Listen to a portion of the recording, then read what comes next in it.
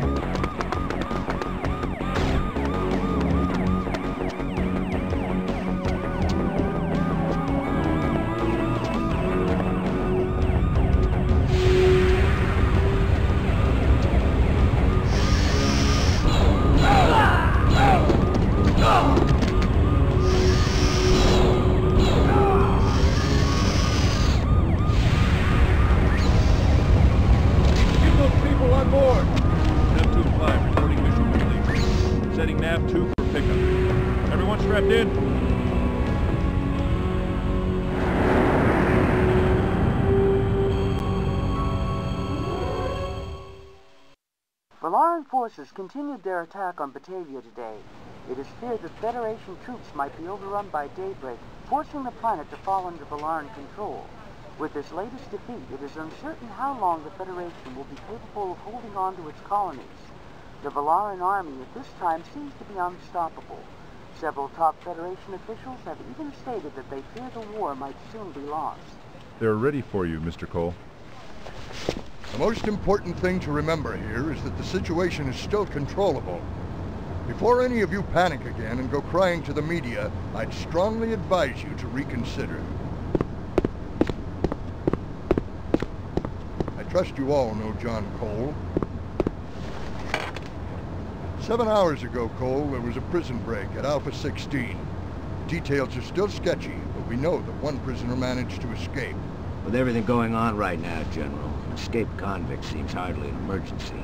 The prisoner is Philip Nodge. The scientist? How can he still be alive? You'll find all the details you need in his file. Your job is to find him and bring him back. Just because this Federation is at war doesn't mean that we can allow criminals to run loose. Besides, returning Naj to prison is extremely important to us right now. I would think that winning the war would be more important. Sorry, Cole. This mission might not seem exciting to you, but we are willing to pay your fee. I expect you will return the fugitive quickly and quietly. Do you have any leads? We were able to maintain a strong tracking signal on the escape vehicle. Not surprisingly, we tracked it to wetlands. Who's my I.O.? Your information officer is Lieutenant Christine Mills. She's a very capable... I know, Chris. Fine, you'll start immediately. There's a transport standing by. Good luck, Cole.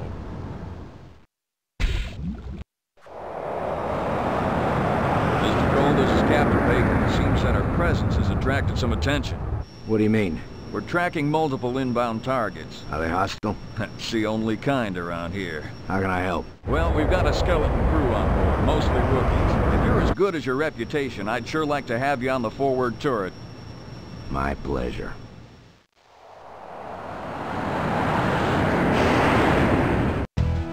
Ja, und damit sind wir auch am Forward Turret, also am vorderen Geschützturm, Turm, weil es das Militär in äh, Reichweite von Wetlands bringt.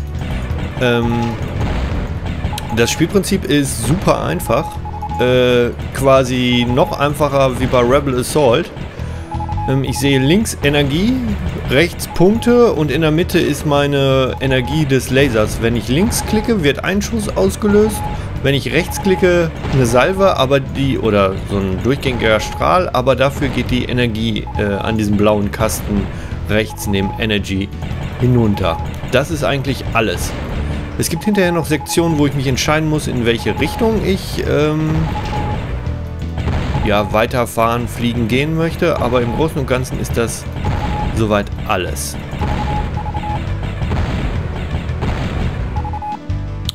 Ich habe mir das damals ähm, gekauft, weil ich, ja klar, wie schon gesagt, auf diese Render-Grafiken stand, aber auch, weil ich von Rebel Assault, wenn man ehrlich ist, ein bisschen enttäuscht bin. Klar, es war das erste und deswegen war es großartig, aber ähm, mich hat die Story hier schon viel eher angesprochen. Ich muss auch sagen, dass ich das Level-Intro jetzt gerade, wo die Leute da in den Kopf geschossen werden.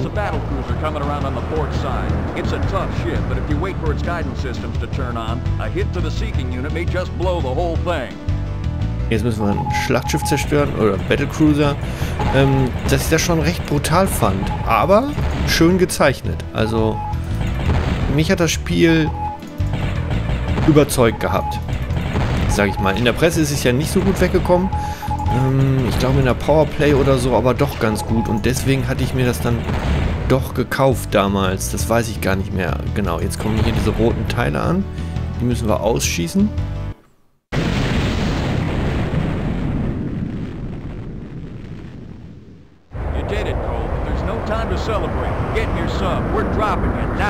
This crate took a lot of hits. I'm not sure it'll hold much longer. See you around. Sind wir mit dem U-Boot auf Wetlands gedroppt und die hauen ab.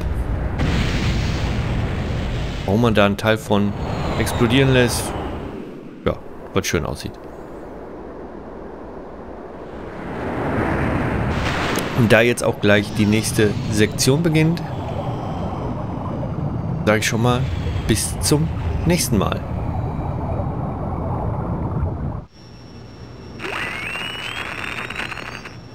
So, together again, Cole. I wouldn't have it any other way, Chris. How do you want to approach this one? I'm going to start with Omicron. There's a guy there named Quag. He pretty much runs wetlands. If anyone would have a clue about our guy, it would be Quag. He sounds like a charming fellow. He's not. Cole out.